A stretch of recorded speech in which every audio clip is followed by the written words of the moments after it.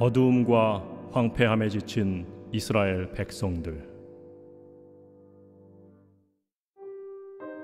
그들은 빛의 소망 되신 임마누엘 메시아가 오시기를 간절히 기다렸습니다.